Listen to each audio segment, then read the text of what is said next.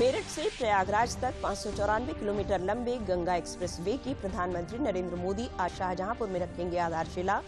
इस express way पर शाहजहांपुर में बनेगी साढ़े तीन किलोमीटर लंबी हवाई पट्टी।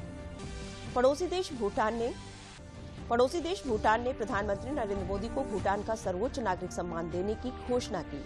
प्रधानमंत्री ने जताया आभार।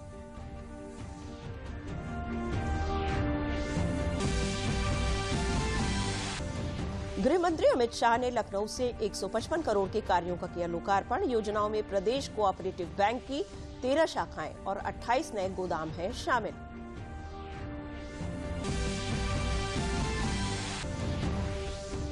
भाजपा चुनाव सह प्रभारी अनुराग सिंह ठाकुर शुक्रवार को लखनऊ पहुँचे। 2022 के विधानसभा चुनावों को लेकर कर रहे हैं। संगठन को मज़बूत।